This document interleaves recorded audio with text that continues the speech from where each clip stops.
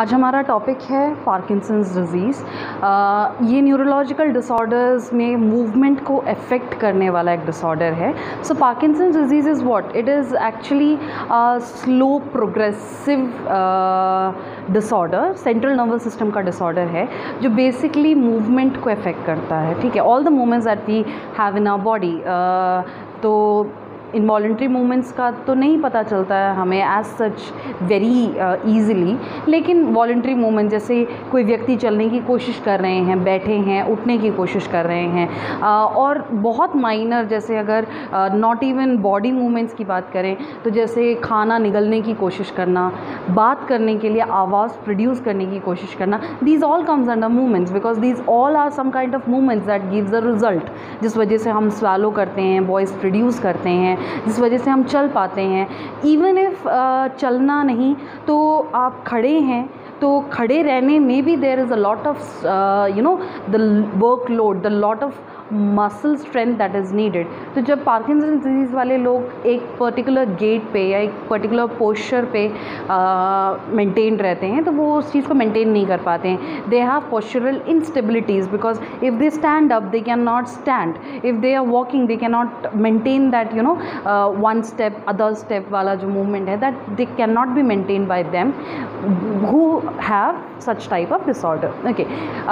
basically ground level पे अगर हम बात करें। So what happens in Parkinson's disease कि जो सब्सटेंशियल नाइग्रा होता है it is a part in the mid brain of a person वहाँ पे जो सब्सटेंशियल नाइग्रा है, वहाँ पे स्पेसिफिकली ऐसे न्यूरॉन्स होते हैं जो डोपामाइन रिलीज़ करते हैं। Dopamine is a neurotransmitter which helps as much in our body for the movements and many other things also so basically for movements and all that so ये dopamine producing जो neurons होते हैं which are there in the substantial nigra they are being targeted और they are being disordered और they are being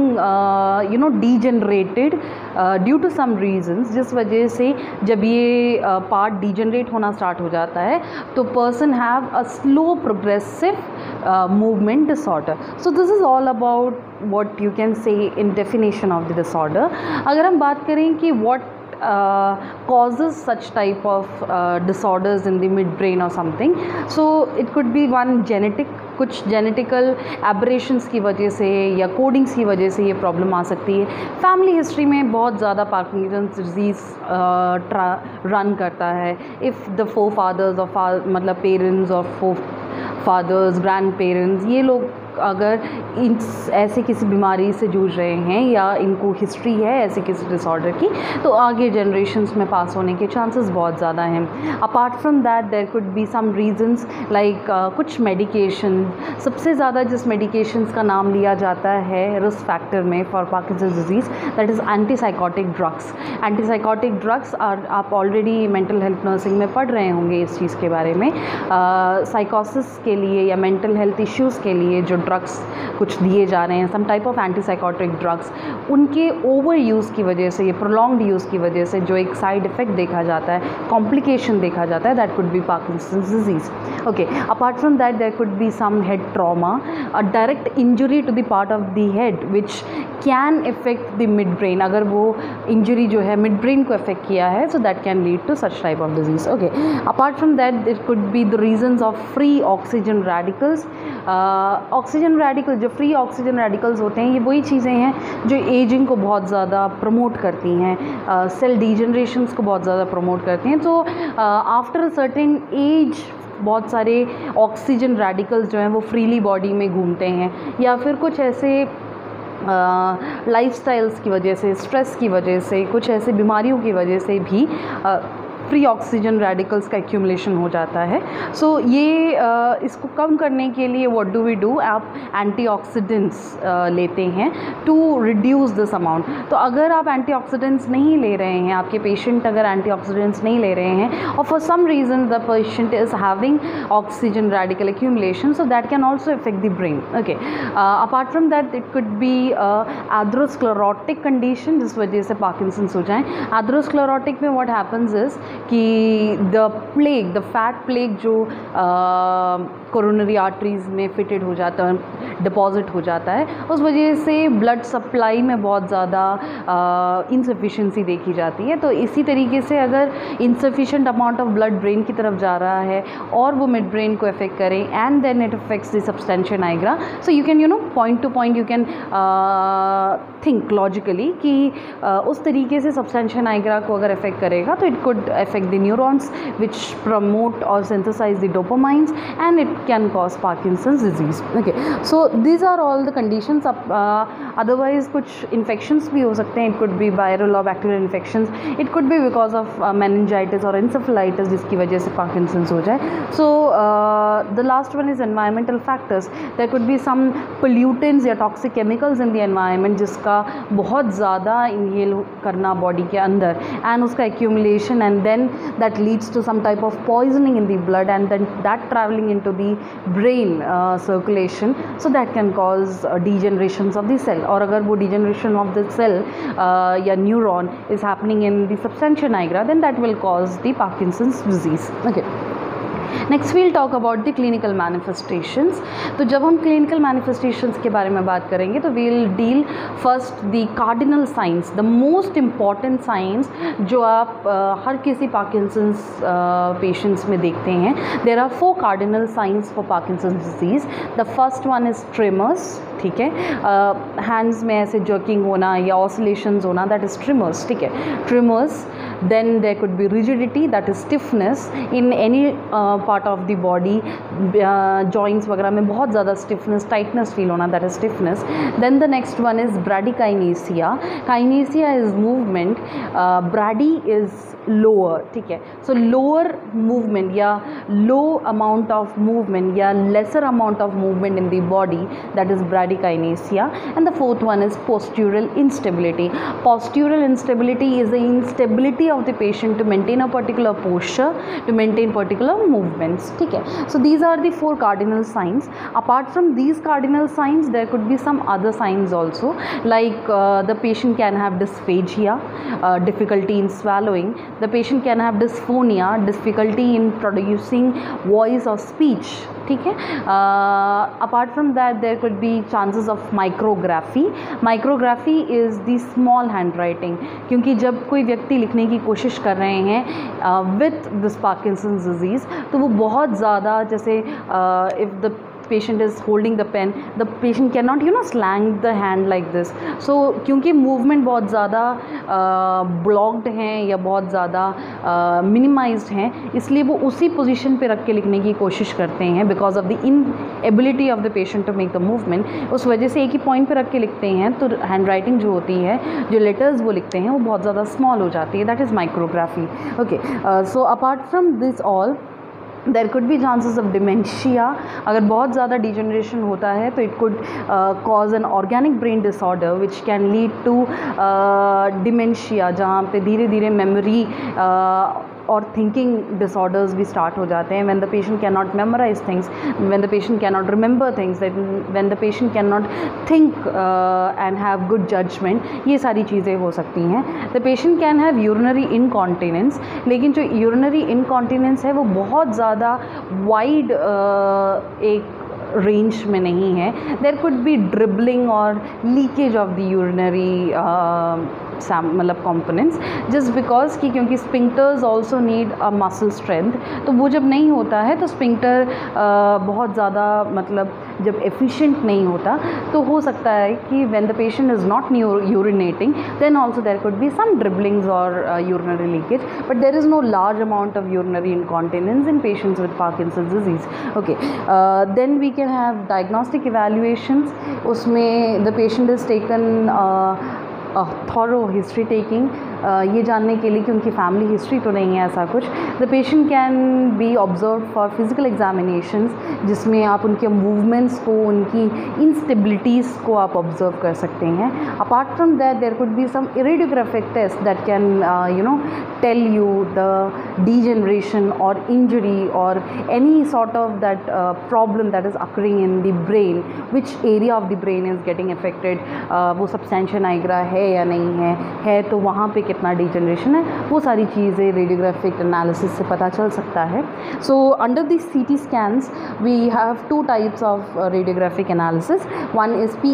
is positron emission tomography and the next one is S P E C T that is single photon emission computer tomography ठीक है? तो इन दोनों से आप अलग अलग रेंज में पता कर सकते हैं about the site and degeneration ये S P C T M P E T and further M R I भी कर सकते हैं इसमें। ये सारी चीज़ें इसलिए ज़रूरी होती हैं क्योंकि अब हम जब मैनेजमेंट पढ़ेंगे तो हम पढ़ेंगे कि हम frequency high radiations high radio active frequencies send करते हैं to you know burn that area और डिस्ट्रॉय दैट एरिया तो आपको करेक्ट पता होना चाहिए कि which is the site which is getting distorted okay next is medical management medical management में there are some medicine that can enhance the dopamine release और that can decrease the tremors जिसमें first आता है anti पार्किस Parkinson's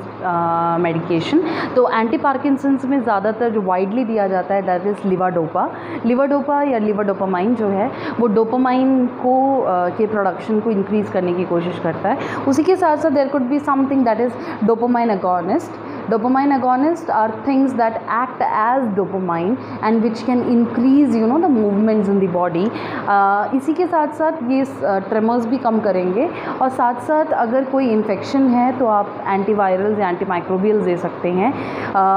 anti कॉलिनर्जिक्स दिए जाते हैं ताकि acetyl कोलाइन की एक्टिविटी को थोड़ा सा कम किया जाए। When the body is having a proper amount of dopamine and acetyl choline then the problem is then the normality is maintained okay when the dopamine is not there and there is only acetylcholine working in the body then there can be chances that it leads to hyper movements which leads to tremors जो आप tremors यहाँ पढ़ते हैं that could also be because of the excess of uh, excess effect of acetylcholine that is happening so acetylcholine को अगर थोड़ा सा कम कर दिया जाए बॉडी में तो भी ऐसा हो सकता है कि ट्रेमर्स थोड़ी देर के लिए थोड़े टाइम के लिए कम हो जाएँ तो जब तक आप एसिटलकोलिन देकर ट्रेमर्स को कम कर रहे हैं तब तक आप सा और मैनेजमेंट uh, कर सकते हैं जिससे वो प्रॉब्लम टोटली खत्म हो जाए। Okay so that is the use of anti cholinergics to decrease the acetylcholine synthesis और transmission which will decrease the tremors okay next we'll come on to the surgical management now this is something new for you you will be hearing this terms for the first time might be so there are three types of management that could be probably done. The first is stereotactic procedures, the second is neuronal uh, transplantations, and the third है that is uh, deep stimulations. ठीक है okay uh, then first one is stereotactic procedures stereotactic procedures में there could be two sites जहाँ पे stereotactic procedures किए जा सकते हैं stereotactic procedures में क्या किया जाता है कि minimum invasion कर कर बहुत जितना कम हो सके उतना छोटा सा इंसिशन जितना छोटा इन्वेशन किया जाता है बॉडी के अंदर और वहाँ पे एक प्रॉब यूज़ कर कर आ, कुछ ऐसे ट्रांसमिशंस जनरेट किए जाते हैं फ्रीक्वेंसीज जनरेट किए जाते हैं जिससे आप क्या कर रहे हैं एक प्रॉब्लम को मैनेज करने की कोशिश कर रहे हैं। So all sorts of that type of procedures comes under stereotactic procedures okay stereotactic procedures में there could be two sites which are mainly use in Parkinson disease one is thalamus and that the other one is globus pallidum ठीक है? जो thalamus है thalamus में थैलमाटोमी किया जाता है and globus पैलेडस जो है, उसमें पैलेडोटोमी किया जाता है ओके थैलमोटोमी में क्या किया जाता है कि a probe is inserted into thalamus then particular frequency is generated and उसकी वजह से वहाँ का एक छोटा सा एरिया क्या किया जाता है, जिस एरिया में भी प्रॉब्लम हो रही है, जहाँ भी डिजनरेशन है, जिस वजह से इतना प्रॉब्लम है, उस कॉज को क्या किया जाएगा डिस्ट्रॉय किया जाएगा ओके okay. पैलेडोटोमी में भी ऐसा ही है if not in thal thalamus then globus pallidus में किया जा सकता है। ग्लोबस पैलेडस जो है वो बेसल ग्लैंडलिया का ठीक है ब्रेन में बेसल गैंग्लिया का एक मेजर कंपोनेंट है और ये वो एरिया है जो डायरेक्टली कहाँ को टारगेट करता है सब्सटेंशिया नाइग्रा जो मिड ब्रेन में है ओके okay, सो so अगर आप ग्लोबस पैलेडस से फ्रीक्वेंसीज एमिट कर रहे हैं तो देर आर चांसेस कि you are you know clearing of the problems that are happening in the substantia nigra so उस मोटिव को ध्यान में रखते हुए पैलेडोटोमी किया जाता है। You are you know opening the opening doing an invasion into globus pallidus वहाँ पे एक प्रॉब लगाकर you are emitting the frequencies that will destroy that area so यहाँ वही चीज़ लिखी गई है कि you are putting the probe then the probe is heated to a eighty degree celsius for sixty seconds और some minutes okay so it will destroy a small part in the brain that will reduce the tremors okay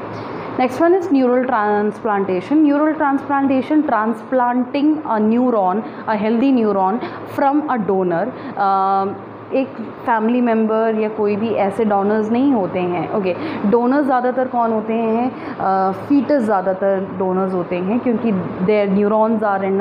you know maturing form तो this will be less risky so ऐसे foetus जो शायद survive नहीं कर पाएँगे तो उनसे आप ट्रांसप्लांट करा सकते हैं, या फिर जो फीटस अभी अभी जिस फीटस की डेथ हुई है, जिस बेबी की डेथ हो गई है, उनसे आप ले सकते हैं। So that is a sort of thing ये एक न्यू मेथड है जिसमें न्यूरॉन्स को ट्रांसप्लांट कर कर पार्किंसंस को ट्रीट किया, जाने की कोशिश की जा रही है। Okay the last one is deep brain stimulations deep brain stimulations में क्या किया जा रहा है कि there is you know one probe and one generator so the probe is placed in the thalamus.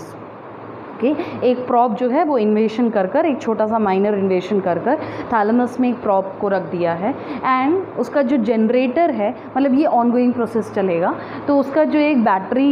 छोटा सा एक जनरेटर है, उसको आप कहाँ पे प्लेस कर सकते हैं that could be placed beneath the skin in any area, or it could be placed beneath the clavicle subclavicle region, or it could be placed in the abdominal pouch, ठीक है so time to time battery generation की वजह से time to time इस generator में से frequencies release होंगी और इस वायर पे होते हुए प्रॉप के थ्रू थैलमस में ये एमिट करेंगे और then it will stimulate that area and it will reduce the tremors और reduce the problems okay so that is the thing that is done in deep brain stimulations okay? So this was uh, all about parkinson's disease. The main thing that you have to remember in parkinson's disease is this uh, problem or disorder which is uh, affecting the movement of the body and the disorder is of the central nervous system. Okay so just go through it once and if you feel any doubt you, can you can ask me. Thank you